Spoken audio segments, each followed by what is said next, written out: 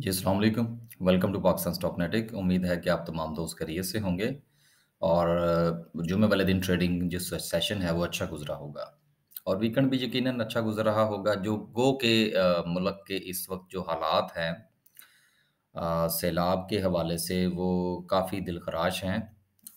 कल और परसों दो दिन जो है वो मैं सोचता रहा कि मैं कोई वीडियो बनाऊँ। लेकिन हकीकत बात ये है कि बहुत सारी चीज़ों को स्टॉक मार्केट के हवाले से एनालाइज़ करने की कोशिश मैं करता रहा। और इनमें सबसे जो अहम चीज़ थी जो अ, मेरे दिमाग में जाके अटक गई और उसके बाद यही मैंने फ़ैसला किया कि इतवार तक देखेंगे और फिर वीडियो बनाएँगे कि देखिए मुल्क की जो इस वक़्त की सैलाबी सूरत-ए-हाल है अ, या पॉलिटिकल सिचुएशन है, इस पर थोड़ा हम बाद में बात करेंगे। आज की वीडियो जो है, इसमें शायद हम टेक्निकली कुछ इतना ज़्यादा डिस्कस ना करें। अ, कुछ थोड़ा फंडामेंटली जो है वो हम चीज़ों को थोड़ा समझने की कोशिश करेंगे। देखिए, जहाँ तक मुल्क के इस वक़्त अंदरूनी हालात हैं सैलाबी सूरत-ए-हाल है, पॉलिटिकल सिचुएशन है, वो मामला अपनी जगह पर। लेकिन एक बात को हमें थोड़ा समझना चाहिए या मैं अपने आप को ये कह लेता हूँ कि मुझे समझने की ये ज़रूरत है और शायद यही बात मेरी समझ में नहीं आ रही, जिसको मैं समझना चाहता हूँ कि देखिए इंटरनेशनली जो है वो पाकिस्तान के लिए जो खबरें आ रही हैं, वो मुस्बत खबरें हैं। वो मनफ़ी खबरें नहीं हैं कि जिनकी बुनियाद पर हम इस चीज़ के बारे में सोचना शुरू कर दें कि जी इंटरनेशनली हालात ख़राब होने लगे हैं पाकिस्तान के लिए। देखें अगर वो कतर के हवाले से हो तो अच्छी न्यूज़ है, सऊदी अरेबिया के हवाले से हो वो अच्छी न्यूज़ है।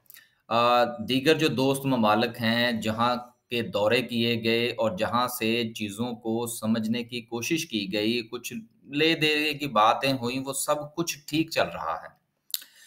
आईएमएफ का मामला भी कुछ इतना ज़्यादा ख़राब नहीं है। वो भी मुझे उम्मीद है कि पीटीआई के साथ जो भी मामला हैं, वो अंडर द टेबल कह लीजिए, बिहाइंड द कर्टन कह लीजिए, खुफ़िया हाथ कह लीजिए, कुछ भी कह लीजिए, वो भी मैनेज इंशाअल्लाह हो जाएँगे अब सवाल ये पैदा होता है कि बाहर से तो सारी खबरें मुस्बत हैं, तो भाई फिर ये मार्केट को क्या हो रहा है? मार्केट ने नेगेटिव परफ़ॉर्म करना क्यों शुरू कर दिया है? क्या सेंटिमेंट है जो मार्केट को मुस्बत नहीं होने दे रहा? इसको थोड़ा समझने वाली बात है। जो बात मैं यहाँ पर समझा हूँ, वो ये है कि देखिए मार्केट जो है वो इस वक़्त डाउनफॉल का शिकार है या लोअर लोज़ कह लीजिए। जबकि इंटरनेशनली जो है वो हमारे लिए थोड़े से हालात बेहतर हो रहे हैं। लिहाज़ा मुझे ये लगता है कि इस वक़्त जो सूरत-ए-हाल हमें ये डाउनफॉल की तरफ़ जाती हुई नज़र आ रही है, ये वक़्ती तौर पर अ, कुछ डोमेस्टिकली प्रॉब्लम्स की वजह से है।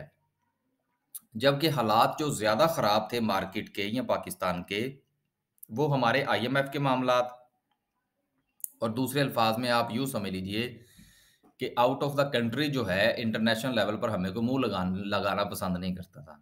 सीधी-सी बात है। मसलन दरवाज़े बंद कर लेते थे कि ये आ गए ने इन्हां ने हुण कोई चीज़ चुक के लै जानी है। ठीक है ना? या माँग लेंगे या माँग लेंगे या चुक के लै जाएँगे। तो बहरहाल अब सूरत-ए-हाल थोड़ी बेहतर हो रही है। लिहाज़ा मैं ज़ाती तौर पर यह समझता हूँ कि मार्केट जो लोअर लोज़ की तरफ़ जा रही है, ये वक़्ती साबित होगा और ये आप मेरा एनालिसिस भी समझ लीजिए और ये मेरी आप ख़्वाहिश भी समझ लीजिए। ये मेरी ख़्वाहिश भी है कि मार्केट को सपोर्ट लेके और बाउंस बैक करना चाहिए और ये मेरा एनालिसिस भी है। तो दोनों चीज़ें जब आपस में मिल जाएँ, तो फिर बंदे को रिस्क ले लेना चाहिए, फिर जो होगी देखी जाएगी। ये मेरी सिर्फ़ अपनी ज़ात के लिए है अ, मैं कतन जो है वो किसी को अ, और ना ही इस किस्म का मतलब आप निकालने की कोशिश कीजिएगा। आपने अपना फ़ैसला अपने पोर्टफ़ोलियो और अपने हालात और अपनी ख़्वाहिश और अपने एनालिसिस के मुताबिक करना है। तो एक चीज़ तो ये थी कि जो हालात हैं इंटरनेशनली वो बेहतर हो रहे हैं।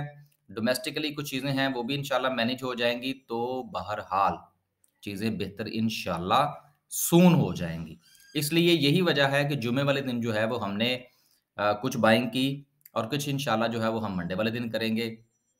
अ, इस मेरी इस स्टेटमेंट को सुनकर किसी को कूदने की कोई ज़रूरत नहीं है।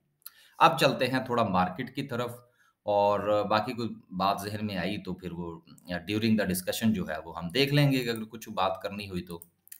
जुम्मे वाले दिन जो है जी वो 450 पॉइंट्स मार्केट ने निकाले। ऑल शेयर की बात करें 164 पॉइंट्स निकले हैं।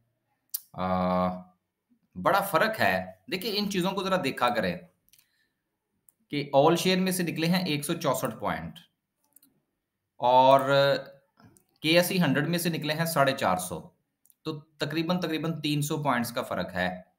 तो इसका मतलब यह है कि कुछ चीज़ें जो हैं अ, वो जिसको हम लोग अभी मेरे ज़हन में एक लफज घूम रहा है, आएगा तो बयान कर देंगे। अ, कुछ चीज़ें जो है ना वो अ, पिन पॉइंट की गई हैं जिनमें डाउनफॉल था। सारी मार्केट में वो हालात कम अज़ कम मुझे कोई इतने बुरे नज़र नहीं आए। आगे चलते हैं जी और केएमए 30 को देखते हैं। आज केएमए 30 को सही मार पड़ी है जितनी पड़नी चाहिए थी। लेकिन चले फिर भी कम पड़ी। वो क्या कहते हैं, बहुत निकले मेरे अरमान लेकिन फिर भी कम निकले। गिरी है केएमए 30 लेकिन फिर भी चले कम गिरी है। आगे चलते हैं और सर्किट ब्रेकर का जायज़ा लेते हैं। यार सर्किट ब्रेकर की बात भी करनी है और उसके साथ-साथ ये भी गुज़ारिश करनी है कि सैलाब की वजह से सूरत हाल काफ़ी जो है ना वो ख़राब है। देखें जो कुछ भी है वो सोशल मीडिया और इलेक्ट्रॉनिक मीडिया पर हमें नज़र आ रहा है। यकीनन कुछ चीज़ें कंट्रोल दिखाई जा रही होंगी और कुछ जो है वो अनकंट्रोल्ड होंगी, लेकिन हालात तो बहर हाल ख़राब हैं। तो जो आप अपनी स के मुताबिक कुछ कर सकते हैं, वो ज़रूर कीजिए। अगर कुछ नहीं कर सकते तो चलें दुआ ही कर दीजिएगा कि अल्लाह ताला जो है वो इनके हालात बेहतर करे। जो लोग जो है वो सैलाब का शिकार हैं पूरे-पूरे जो हैं वो वो क्या कहते हैं शहर ही डूब गए हैं। चूँकि चैनल अपना है, वीडियो भी अपनी है, अब मुझे 2-3 बातें जो है वो अभी ये याद आ गई कि मुझे आज भी याद है कि जिस वक़्त काला डैम कालाबाग डैम के हवाले से बातें हुआ करती हैं, तो कुछ लोगों की दुम पर पाँव आता है और वो ये कहना शुरू कर देते हैं कि जी अगर कालाबाग डैम बना तो नौशहरा डूब जाएगा।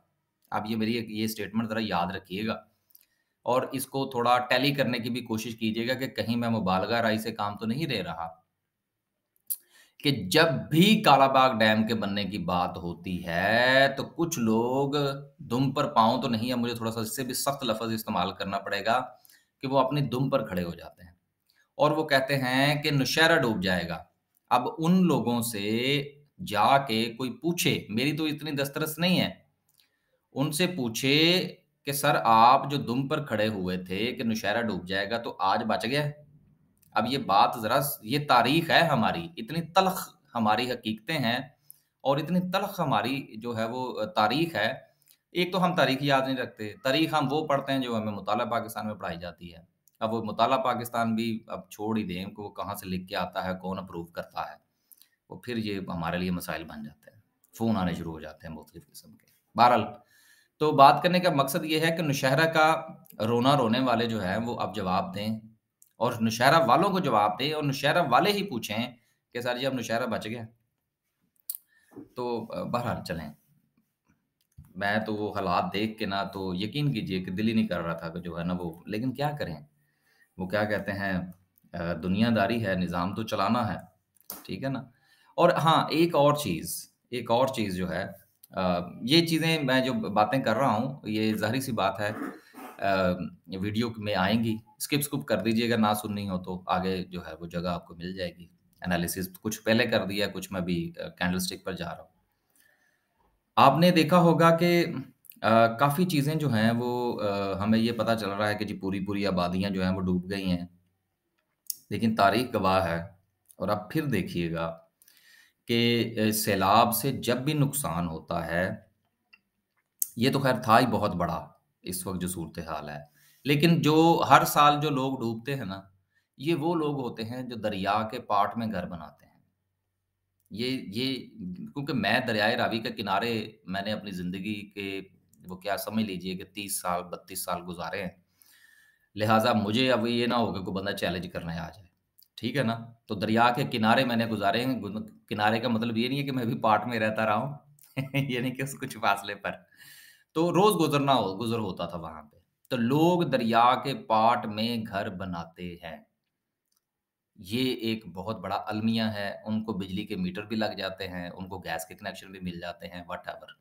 तो ये सब लोग मुजरिम हैं और उनके साथ-साथ रावी अर्बन प्रोजेक्ट वाले भी मुजरिम हैं। अब उसके ऊपर फिर कभी बात करेंगे। तो मैं सिर्फ़ ये कहना चाह रहा था कि दरियाए किसी भी दरिया के पाट के अंदर जो लोग घर बनाते हैं, वो मुजरिम हैं और वो जो है, वो फिर उस चीखो-पुकार का हिस्सा बन जाते हैं। मैं ज़ाती तौर पर यह समझता हूँ कि लोगों की मदद ज़रूर करनी चाहिए, लेकिन ऐसे आदि मुजरिम जो हर साल दरिया के पाट में जाके घर बनाते हैं और बनाते भी इस तरह से हैं कि फूँक मारो तो उड़ जाए ठीक है ना? और फिर जब वो उसमें पानी आ जाता है, तो फिर वो चीखो-पुकार शुरू कर देते हैं और उनके साथ-साथ वो वापडा एहलकार और और वो दीगर जो गवर्नमेंट के इदारों के एहलकार हैं, जो इनको ये सर्विसेज़ मुहैया करते हैं, वहाँ पर वो सब के सब मुजरिम हैं इस चीज़ के। एक चीज़ एक बात तो ये थी। अब चाहे आज की वीडियो जो है वो क्या कहते हैं उसकी रेटिंग ज़ीरो ही हो जाए तो हो जाए। जो दिल में हो वो कह दें, जो होगी देखी जाएगी। कम अज़ कम ये वो क्या कहते हैं ज़मीर पे बोझ तो नहीं रहता कि जी मैंने बात नहीं की। चलें वो क्या कहते हैं आवाज़ के ज़रिए से ही सही, एक कमज़ोर आवाज़ ही सही लेकिन बात तो करनी चाहिए। कोई 10 लोग तो सुनेंगे ही नहीं यार। दूसरी बात यह है कि ये चंद वीडियोज़ जो हैं वो हमें सोशल मीडिया पर मिल रही है कि कुछ लोग जो हैं वो अ, वो पत्थर पे खड़े हैं और कुछ इस तरह से हुआ और कुछ इस तरह से हुआ। यकीनन वो दिल-ख़राश वाक़यात हैं। लेकिन अगर आप मैंने कुछ 1-2 की तहकीक भी की है। हम लोगों को ना बेसिकली टार्ज़न बनने का भी बड़ा शौक है। कुछ जब से सोशल मीडिया आया है, हम जो है वो कभी जंगल को कभी जो है वो मार्गला की पहाड़ियों में जंगलों को जंगल को आग लगा के हम टिकटॉक्स बनाते हैं। कभी जो है हम प्राइम मिनिस्टर हाउस का दरवाज़ा टाँग से खोल के टिकटॉक्स बनाते हैं, ठीक है ना? तो ये हरकतें दरियाओं की तरफ़ भी ऐसे ही है। तो कुछ मौसूफ़ान जो हैं वो ऐसे थे कि जिन्होंने ये हरकत फ़रमाई और फिर बाद में वो लहरों का शिकार हुए। दरिया के बीचों-बीच ये कौन-सा घर था कि जिस पर बड़े पत्थर के ऊपर साहिब जो है वो बैठकर जो है वो नज़ारा कर रहे थे और फिर बाद में वो डूब गए। कोई पूछने वाला तो हो। तो इसलिए ये हमारे यहाँ ये एक ऐसा है कि जब किसी जगह पर लिखा होता ना कि यहाँ पर खतरा है, आगे जाना मना है, तो बहुत सारे टार्ज़न बन के आ जाते हैं कि नहीं जी सानू कुछ नहीं हुंदा। तो फिर हो गया ना। तो ऐसे लोगों को भी डिस्करेज करें आप और जो वाक़यतन बेचारे जिनके घर जो है वो हमें लुटते हुए दिखाई दिए, गिरते हुए दिखाई दिए, उनकी दाद-रसी यकीनन बनती है। और ऐसे लोगों की जो है वो उनके लिए दुआ करें कि अल्लाह ताला इनको जो है ना वो हिदायत दे और ये इस किस्म की हरकतें, जानवरों वाली हरकतें करने से बाज़ आएँ कि एक तरफ़ जो है वो दरिया बिखरा पड़ा है और आप लोग जो है वो टिकटॉक के चक्कर में जो है वो अपनी तो जान गँवाते हैं और फिर बाद में जो है वो बहुत सारे लोगों को जो है वो नमोशी का सामना करना पड़ता है। चलें आज की वीडियो का बहुत सारा हिस्सा जो है वो सैलाब पे भी हुआ। अब तबाह तबाहकारियाँ भी हुई, पुल भी बहुत सारे बह गए हैं, सड़कें तबाह हो गई हैं, सीमेंट और स्टील तो चलेगा। अब एंड में से जो है वो हमने अपना मतलब निकाल लिया। तो चलें बहरहाल अल्लाह ताला माफ़ करे। अ, क्या करें कारोबार जो है। लोअर कैप की बात करते हैं जी तो लोअर कैप में भी कोई ख़ास नहीं है। जहाँ पर वो क्या कहते हैं पीएसओ जैसे शेयर्स जो हैं वो इतना नीचे गिर गए हैं तो इनको हम क्या कंसीडर करें। बाकी और कुछ नहीं है लास्ट पे हम कैंडल को डिस्कस करते हैं। देखिए कैंडल जो है वो आपको याद होगा कि जिस वक़्त हम जुमेरात वाली वीडियो बना रहे थे, तो उसमें मैंने कुछ इस तरह से सूरत-ए-हाल जो थी वो बनाने की कोशिश की थी। अगर आपको याद हो, मिलती-जुलती होगी इसी तरह से। अब मुझे ये लगता है और मेरा ये एनालिसिस है और ये नीले रंग की जो एक लाइन है जो मैंने नई लगाई है, ये मैं समझता हूँ कि मार्केट को यहाँ से ऊपर उठना चाहिए अगर इसने लोअर लोज़ बनाकर जाना है। क्योंकि अगर आप मार्केट का वॉल्यूम देखें, तो वॉल्यूम जो है वो भी कदरे कम है। लिहाज़ा मेरा ये ख़्याल है कि मार्केट ने जो एक सपोर्ट ली, फिर मार्केट ने बाउंस बैक लिया, फिर मार्केट ने डाउनफॉल ली, तो मेरा ये ख़्याल है कि यहाँ से क्योंकि ये मार्केट की जो सपोर्ट थी उसको मार्केट ने उससे नीचे क्लोजिंग दी है।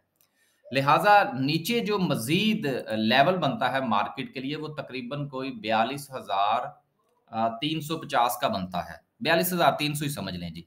मेरा ये ख़्याल है कि मार्केट को बयालीस हज़ार तीन सौ से जो है वो सपोर्ट लेनी चाहिए और देन इसको ऊपर आना चाहिए और फिर इसको जाना चाहिए तैंतालीस हज़ार तक मैं अब इसको रिपीट कर दूँ मेरा ये जाती तौर पर ख्याल है कि टेक्निकली मार्केट को अगर इसी तरह से परफॉर्म करना है और एक ट्रेंड की सूरत डाउन ट्रेंड की भी अगर पोजीशन बनानी है तो मार्केट को बयालीस हज़ार तीन सौ से उठना चाहिए और बयालीस हज़ार तकरीबन आठ सौ या नौ सौ तक जो है वो मार्केट को जाना चाहिए। देन मार्केट को जब नीचे आएगी तो फिर वो इस सपोर्ट को तोड़ेगी। लेकिन अगर इस यहाँ पर मार्केट को अच्छी सपोर्ट मिल जाती है तो देर इज़ अ चांसेस कि मार्केट जो है वो अपनी इन रेजिस्टेंस के ऊपर जो है वो जाके क्लोजिंग दे एंड देन मार्केट का एक नया ट्रेंड जो है वो शुरू हो जाए। उम्मीद है कि ये जो बात मैं यहाँ पर बताने की कोशिश कर रहा था, वो ये थी कि मार्केट का सेंटिमेंट और टेक्निकली दोनों चीज़ें इस चीज़ को सपोर्ट कर रही हैं कि मार्केट ने अगर डाउन ट्रेंड में भी चलना है तो उसमें भी लोअर लोज के साथ साथ लोअर हाइज भी बनने हैं। तो मेरा ये ख्याल है कि नेक्स्ट लोअर लो जो है वो बयालीस हज़ार तीन सौ का होगा और नेक्स्ट लोअर हाई जो है वो बयालीस हज़ार आठ सौ का होगा। ये एक मेरी ज़ाती राय है और देखेंगे कि आगे जो है वो दिनों में इनशाला मंडे वाले दिन जो है वो मार्केट किस तरह से परफॉर्म करती है। आ, इसी के मुताबिक इसी चीज़ को जहन में रखते हुए हमने कुछ ट्रेड्स भी ली हैं। आखिर में सिर्फ़ और सिर्फ़ इस दुआ के साथ कि अल्लाह ताला जो है इन मामला को जो है वो जल्दी से जल्दी जो है वो ये बेचारे जो सैलाब में हैं ये मामला जो हैं वो चलें। और आखिर में अब एक बात फिर मुझे याद आ गई, क्योंकि हमारा ये लिखा हुआ प्रोग्राम तो होता नहीं है, कि आपको याद होगा कि आज से ठीक दो महीने पहले सिंध की तरफ़ से और इधर उधर से आवाज़ें उठ रही थी, जी, हमारा पानी पंजाब खा गया और ये हो गया, हमें पानी नहीं मिल रहा। और आपको याद होगा जो मेरे रेगुलर निसर हैं, मैंने आपसे कहा था कि ठीक दो हफ़्ते के बाद यही लोग चीख रहे होंगे कि जी पानी ज़्यादा आ गया। ये ये चीज़ें जो है ना, ये जब हम बोलते हैं तो ये ज़ाहिर सी बात है वीडियो की सूरत में तो हमारे चैनल पर पड़ी हुई हैं। तो ठीक दो महीने पहले, जून के महीने की मुझे अच्छी तरह याद है, ये बात है। तो इसलिए ना लोग जो हैं वो मुँह खोलने से पहले सोचते नहीं हैं कि हम क्या करने लगे सिर्फ़ सियासी पॉइंट स्कोरिंग और इस तरह के चक्कर में जो है वो लोगों का भी, लोगों को भी बर्बाद करते हैं और मुल्क का भी सत्यानाश करते हैं। चलें, आज इस थोड़ा सा सेंटी माहौल में, अल्लाह हाफिज़।